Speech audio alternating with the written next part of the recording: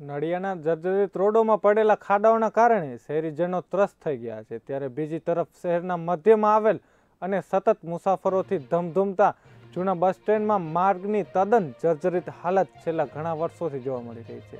જેના કારણે દરરોજ બસમાં મુસાફરી કરતા શહેરીજનો તથા બહાર ગામથી આવતા લોકોને બસ સ્ટેશનના જર્જરિત રસ્તાઓના કારણે ચાલવામાં ભારે મુશ્કેલી વેઠવી પડી રહી છે. ત્યારે નડિયાદ શહેર કોંગ્રેસ સમિતિ દ્વારા નડિયાદના જૂના બસ સ્ટેન્ડના ખખડધ્વજ રસ્તાના કારણે પડતી હાલાકીને લઈ લેખિતમાં રજૂઆત કરી સમસ્યાનો વહેલી તકે ઉકેલ લાવવા માટેની માંગ કરવામાં આવી હતી.